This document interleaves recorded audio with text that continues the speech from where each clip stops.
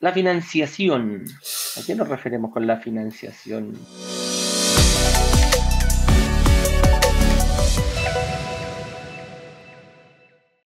¿Indispensable o deseable? Absolutamente impajaritable, absolutamente indispensable.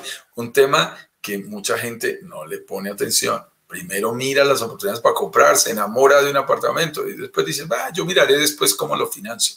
No, no es esa la secuencia. Para nosotros eso no existe.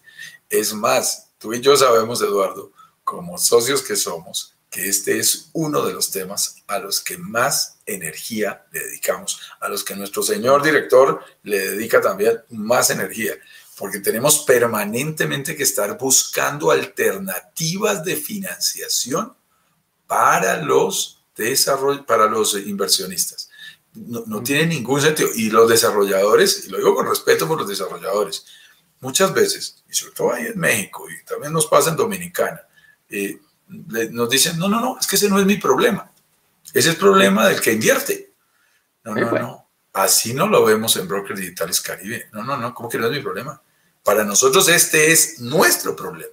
porque es parte de la solución. Además, nosotros también somos inversionistas y necesitamos estrategias de financiación para extranjeros. Cómo tener eh, un crédito hipotecario en otro país. Cómo garantizar un buen plan de pagos para un enganche inicial. Todos ese tipo de cosas son absolutamente fundamentales.